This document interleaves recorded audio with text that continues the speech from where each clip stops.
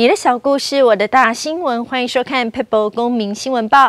来自花莲，年仅十九岁的滑轮溜冰选手肖炳生，是滑轮溜冰速度过桩的世界纪录保持人，也在多次世界比赛中夺冠。但滑轮溜冰相较于其他国人熟悉的运动项目，比较不被重视，加上身体的运动伤害，让他萌生退役。早上十点钟不到，滑轮溜冰国手肖炳生已经穿上直排轮鞋，排好脚锥，准备开始一天的自主训练了。相较同年龄的青少年，可能还在赖床玩手游，肖炳生的一切训练都是为了将来在国际赛事中获得冠军，替台湾争取荣耀。来回的反复冲刺，追求最佳秒数，仅能在休息空档稍喘片刻。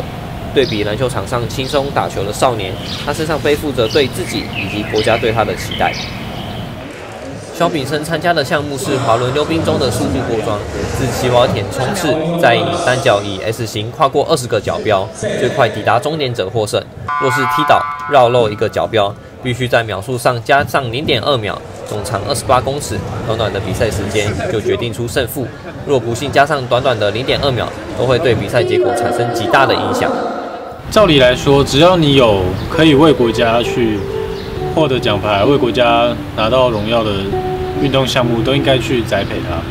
可是现在国家却是重点放在大家喜欢的篮球、棒球、羽毛球，对其他项目，就算你可以拿牌，他们也不会去重视。十九岁的他，脚踝软骨、脊椎都产生了职业伤害，也使得他产生了退休的念头。转换身份，变成担任指导滑轮溜冰的角色，辅助其他青年滑轮选手，不要和他一样受到职业伤害的摧残。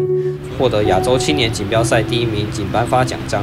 一个选手的培育是消耗相当大的时间和金钱去培养。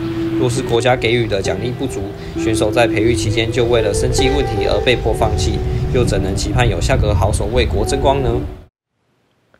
新北市树林的山家火车站是个只有区间车停靠的小站，但过去它曾经因为煤矿开采繁华一时。车站整修后，重现往日的煤矿特色，吸引民众前来缅怀过往的时光。又名索阿卡的山家，坐落于大洞山的山脚下。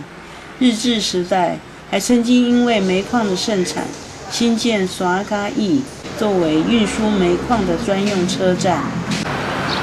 新北市在一百零四年推动新北市三家车站修复与周边环境改善工程时，进驻的 DLH 一零四四型调动机与具采矿特色的煤斗车，以及车站旁边墙上的彩绘，处处皆可以印证煤矿与三家密不可分的连结。十五六岁就做了，做煤矿比较有钱赚呐。以前没有工作，以前都没有工作啊，我们也没有地，也没有什么，就要做工啊。我们以前都是要做工啊，我做二十多年了。目前矿坑遗址仅剩两处，其一是大丰煤矿这个小广场，有着早期的矿工们居住古处环绕，目前已闲置不用。另一座盖蛋矿坑遗址。在在地地方人士的奔走整修下，得以重见天日，可供民众缅怀当年的繁华与哀愁。